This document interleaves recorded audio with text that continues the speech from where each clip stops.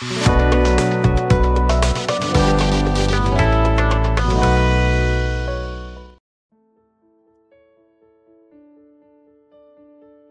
pagi, Shalom Bapak Ibu, Saudara-saudari yang dikasihi oleh Tuhan. Pagi ini kita akan membaca dan merenungkan firman Tuhan. Untuk itu, mari kita berdoa. Kami mengucap syukur kepadamu ya Tuhan untuk setiap kasih dan penyertaan-Mu yang tidak pernah berhenti di dalam kehidupan kami. Bersyukur untuk hari yang baru, kami diberikan kesehatan dan kekuatan untuk menjalani kehidupan kami. Berikan kami hikmat untuk dapat mengerti firman-Mu. Kiranya firman-Mu ini menjadi pelita bagi setiap kaki kami dan terang bagi jalan kami. Di dalam nama Tuhan Yesus kami berdoa. Amin. Pembacaan kita pada hari ini terdapat di kitab Mazmur pasal 22 ayat yang ke-25 sampai ayat yang ke-31. Firman Tuhan berbunyi demikian.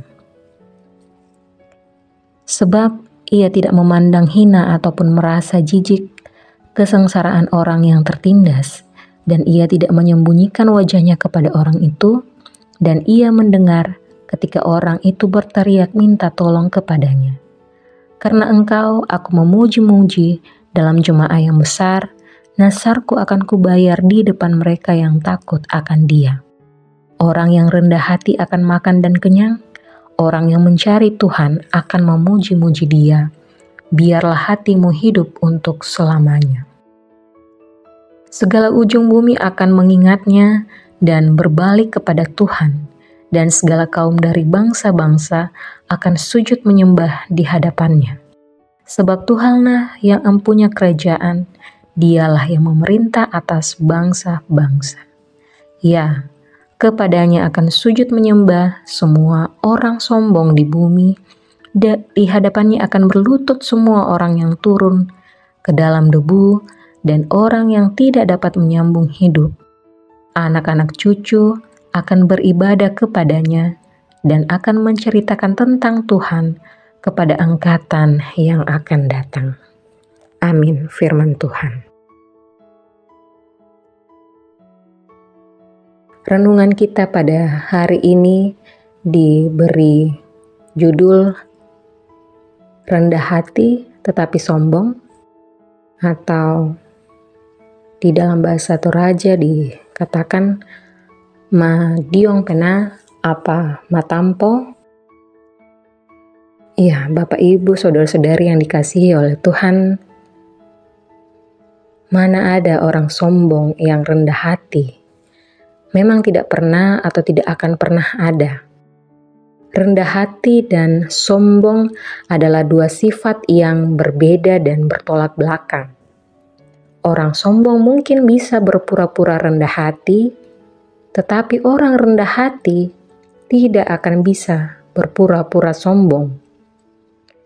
Ya, Daud memiliki potensi untuk terjebak kesombongan karena sehari-harinya ia adalah raja yang disembah oleh rakyat. Akan tetapi, ia melihat seluruh hidupnya semata-mata karena kemurahan Tuhan. Komitmen membayar nasar adalah bukti dari pengakuannya bahwa kemenangan demi kemenangan dan semua keberhasilannya adalah karena kuasa Tuhan menyertainya. Penyataan iman secara ritual, ya, seperti melalui pembayaran nasar, disertai dengan tindakan memuji-muji Tuhan.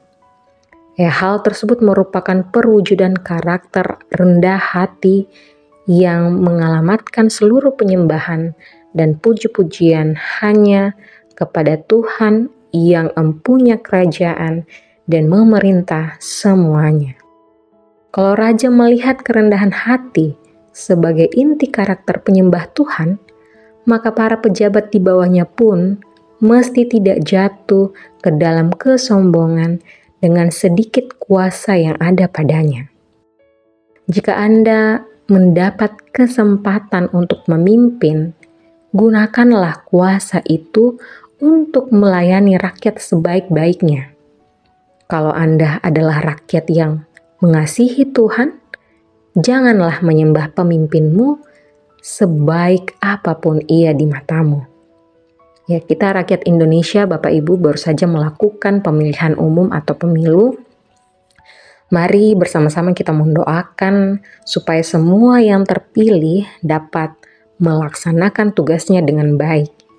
Jangan sampai Tuhan kecewa terhadap ucapan saat kampanye. Ya, jabatan itu karunia dan kuasa itu untuk melayani. Berubah menjadi penguasa yang haus pujian dan penghormatan. Amin firman Tuhan. Ya Bapak Ibu yang kekasih di dalam Tuhan, mari kita berdoa. Terima kasih Tuhan untuk setiap firman yang boleh kami baca dan renungkan pada hari ini.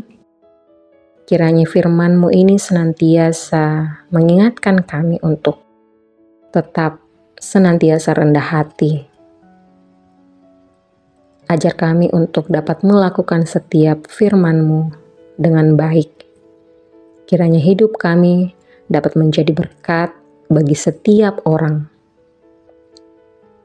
Seluruh kehidupan kami hari ini ya Tuhan, kami serahkan ke dalam tangan-Mu. Kiranya Tuhan menuntun dan menolong kami. Di dalam nama Tuhan Yesus, kami berdoa. Amin.